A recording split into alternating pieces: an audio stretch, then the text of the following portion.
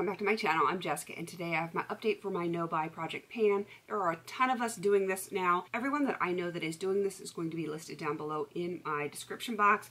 This really started with Jessica Payne unofficially. She was doing a 100 pan kind of project pan no buy type of thing and then Dora was inspired by that and then Caena and I were inspired by Dora and I know that Ruthie's doing it. I know Kezia's doing it. There's like a ton of people. I'm trying to look and see quickly if I can see who else is doing it. But I know those beautiful ladies are doing it. I'm sure there's probably some more.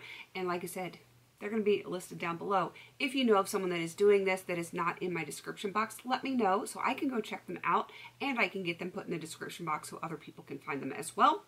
So let's get into this everyone that I know that is doing this is doing it a little bit different, which is kind of cool because we have to work with our own collections, our own goals, and everything like that. I am doing this one way, and I may actually change it in the next few months. I am doing this as a standalone project, but I'm finding that I'm running into some problems. The way I have it set right now, I have every category that is a problem that I have a set goal for I have in here with a product from that category, which is fine. I don't mind working on a lot of products, clearly, but I'm finding as I get close to goal, if I have those type of products, say um, body lotions, just off the top of my head, I may only need to use up two body lotions overall to get to my goal. That's not the case, but just as an example, I may have one in this project, but I could have four or five in another project. And then I'm working on like four to six body lotions and I really don't need to when I'm only trying to get down one or two. So I'm finding some conflict there. So while I'm going to keep it like it is for right now, I do feel like moving further into the year, if I have some in other projects for a given category, I might just you know, not roll anything new in and see if that works for me. I'm still going to do the no buy. I'm still going to do the no buy project pan. I just, I'm not sure, I'm not sure how it's going to work best for me. And I feel like I'm overwhelming myself with the number of products just because, you know, sometimes I am, I'm working on so many multiples of the same category. I hope this makes sense. I know, it's very long-winded. That is so typical of me. And it's daytime, so I have a lot more energy. All right, so let's get into this. Hopefully, hopefully I can make heads or tails of this, but we're to do it. I'm not to go over everything because I really don't have any progress on some things and it doesn't make any sense to talk about those. So we're going to start with our body oils. I use these interchangeably for body and hair. I have primarily used this as a hair oil and as a makeup remover. It is the Radha Argan oil. It is 100% pure and natural. And I really like this oil a lot. I did not put it in my hair today, which is why it's super poofy today. But um, I like it. I like it a whole lot. And I'm making good progress. So I went from here to here. And I feel like my usage on this is going to start picking up because now that it is warmer outside and I'm working out in the garden, I'm sweating more, I will have to wash my hair more frequently because this it's heavy, it's hot, and my head will sweat. And if I don't wash my hair after I am all nasty sweaty, then I start to itch and we, we don't need that. So I feel like if I'm going to have to wash my hair more, I'm going to have to start putting more oils back into it without it getting on my scalp. So I think this is going to get used up a lot faster than I had been using it. So for body oils, I have a goal of five. I currently have 16 in my collection. So it will be nice to actually get that one used up in a reasonable amount of time. Most likely two, maybe three months, and I can probably have that one done. And then I will probably roll a new one in. I do not have any other body or hair oils anywhere in any other project, so I will be rolling that one into here. My next category is going to be shower gel. I have the Philosophy Amazing Grace shower gel. I don't think I have updated this since I brought it in, but it was brand new, brand spanking new, and I am down to here. I think another month or two, and this one is going to be done. I use it frequently because I am working on a lotion and a perfume that matches this, so I want to use them together. So yeah, I think I think that one's going to be done probably in the next month or two. For shower gels, I have a goal of five, which I'm not sure if that's realistic for me, but it is a jumping off goal. I may adjust that goal later, but I currently have 24 in my collection, which is way too much. So even if I was to up that to 10 as my goal, I'm still way over what I should have. All right, moving on to the hair categories. The first one is going to be for shampoo. I have a goal of 10. I currently have 15, but this one is getting close. It is not done yet, but it is very, very close. It is the Alterna Caviar Anti-Aging Replenishing Moisture Shampoo. It says it nourishes dry hair. I don't know that I believe that, but um, it does clean my hair, which is a good thing. And I am at this line right here. I wasn't sure I was ever able to see through this, but now that so much product is gone, I have a really high powered flashlight that I was able to shine into this and see exactly where I was. I'm surprised I'm that low. If I was going to guess, I would have been like up in this range.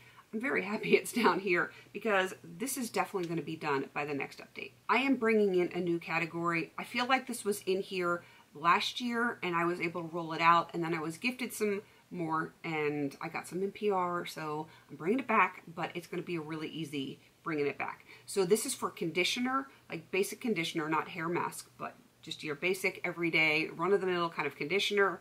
I have a goal of 10, I have 11 and I have this tiny little guy.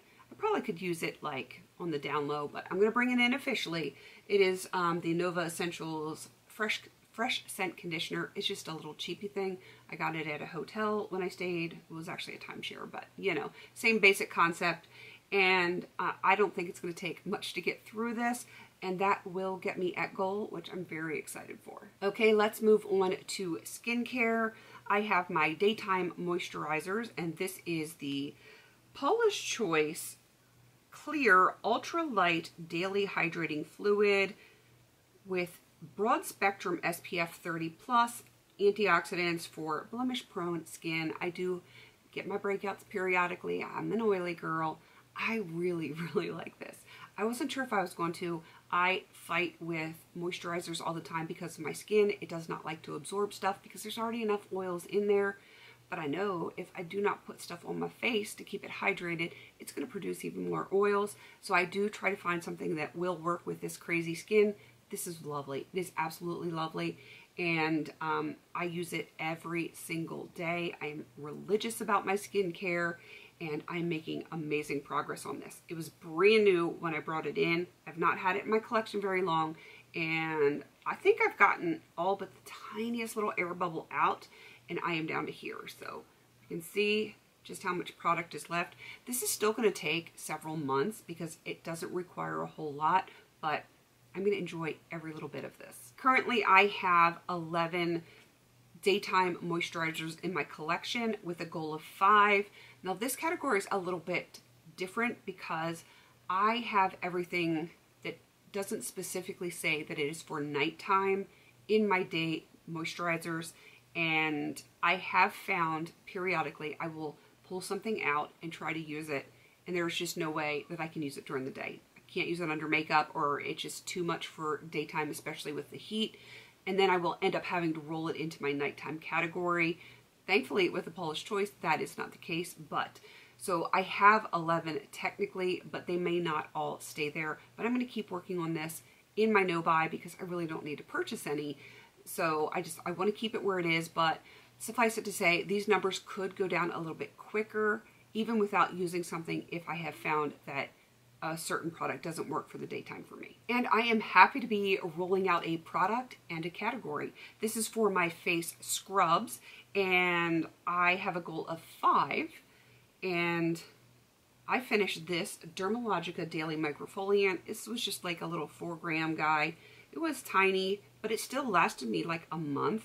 Once I actually started using it, it lasted about a month. So there was a ton of product in here. I really like this. I believe I still have a full size, like a really big one, and it's just lovely. So I am happy to be rolling this out.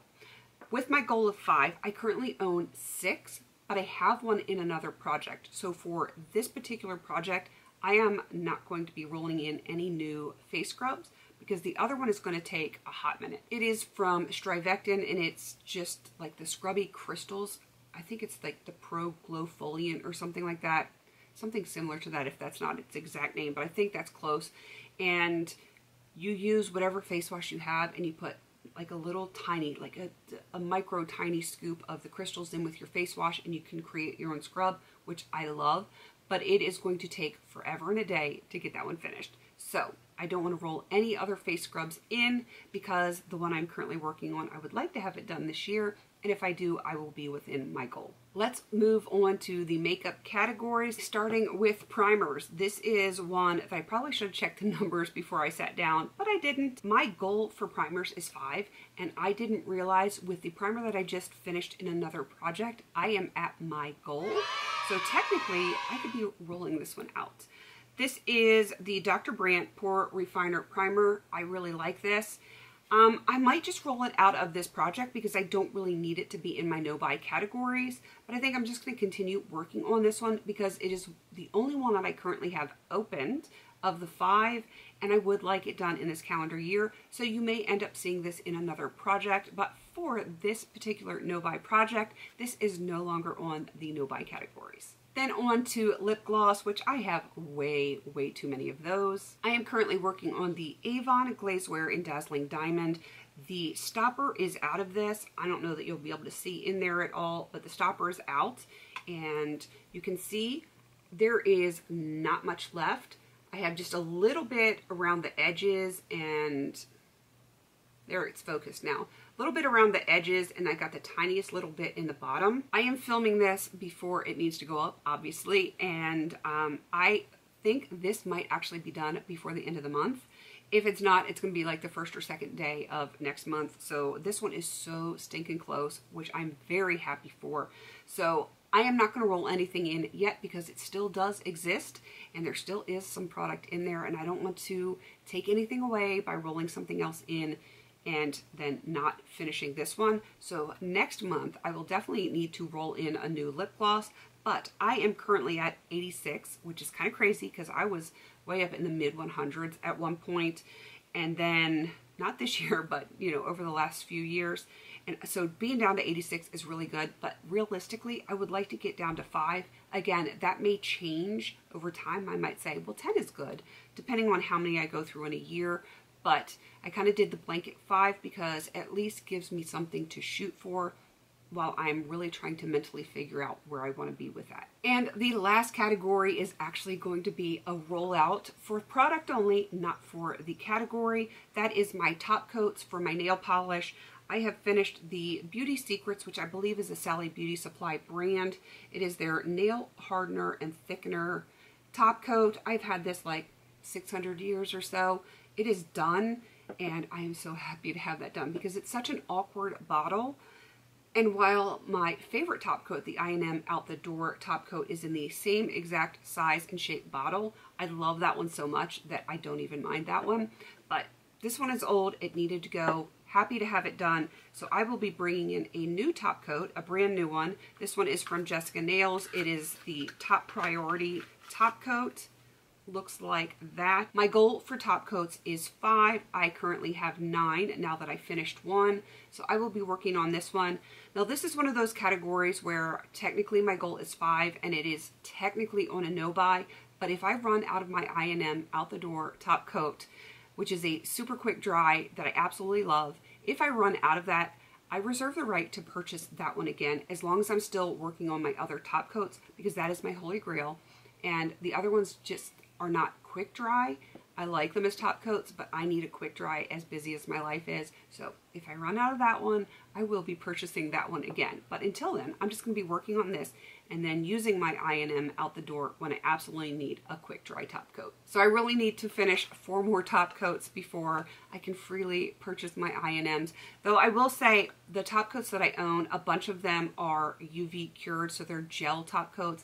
And I might rethink that at some point because I don't use the UVs with my basic polishes. So I'll think about that one and I will get back to you on like what my thoughts are on that. But for now, I'm going to leave it as stands. And I guess that is everything. Definitely go check out everyone else that has joined in. Like I said, there's going to be people down below. They've joined in like on their own, doing their own thing. Um, we do kind of mention each other. And as the list grows, we're like, just check down below if you know someone that's doing this, let me know because I would love to go cheer them on, check them out. If you want to join in, by all means, it's like not an official project, so anyone can join in if they want to. Just let me know so I can shout you out. All right, please don't forget to like, comment, and subscribe. And until I see you on my next video, have a beautiful day.